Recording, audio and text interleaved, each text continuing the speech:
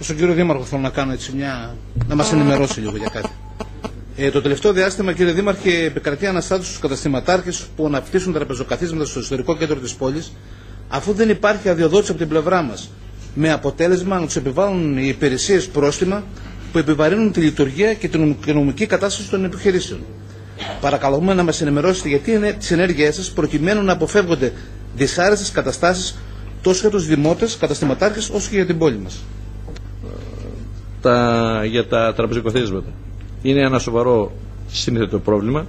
Να πω όσοι επαγγελματίες έχουν επιβάλει αίτηση και ζητάνε άδεια, τους έχει χορηγηθεί.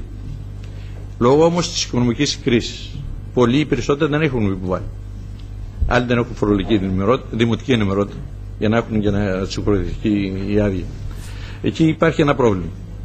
Ε, παρακάλεσαν να δουλέψουν λίγο ελάχιστο και μετά στη συνέχεια να έρθουν να υποβάλουν αιτήσεις κτλ.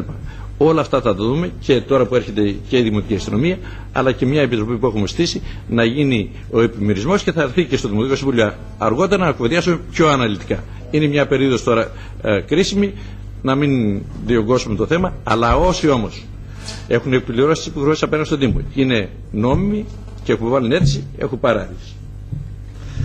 Ε, μετά, αργότερα, δεν ξέρω.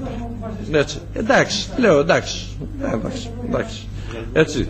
Θα, θα το δούμε, θα το δούμε. Έτσι. Θα το δούμε, το δούμε. Αν προκύψει τίποτα, έτσι.